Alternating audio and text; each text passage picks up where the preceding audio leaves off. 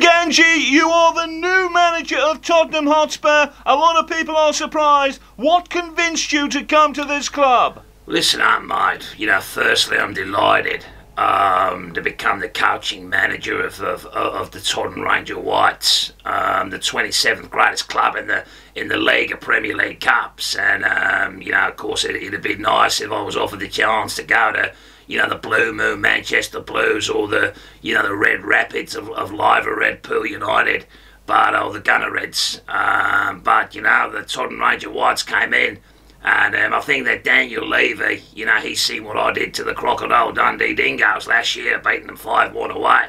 And um, the Falkirk Falcons and the, you know, the Kilmarnock Kangaroos. And uh, I think Daniel knows that if you can do that there, you've got a possibility of doing a great job here at the Tottenham Ranger Whites. And Big Angie, your first job as new Tottenham Hotspur manager will be to convince star striker Harry Kane to stay. Can you keep him here? Yeah, I've already called an emergency meeting, mate, with Henry Kane. You know, what a soccer kickball, kickball striker forward player that guy is, you know. And I'm going to say to him, Henry, look, you know, my guys at the green and white Celtic hoops, you know, of Glasgow, mate, you know, they were scoring 2,700 goals a game. Um, you know, we, we, were incredible there. You know, and um, you know, I could do the same thing for him. And um, yeah, you know, I'm gonna make sure that you know I'll sit with him and the, and the guys, and you know, we've got to have go to the Tottenham beach. Uh, do a bit of surfing out there, you know, and, and, make sure that the guys have a few crates of Foster's beer. And I know they like a beer, the lads. I mean, I've watched them play last year. They look like they like a drink, you know. I've got to be honest, Big Angie. Mourinho couldn't please them. Conte couldn't please them. Can you deal with the miserable, toxic, moaning Spurs fans, Big Angie? Ah, uh, mate, come on, mate. When I can deal with it, I can deal with the Tottenham Ranger white fans, mate. I've been at Glasgow, and the Celtic green and white hoop Glaswegians, they they were they were.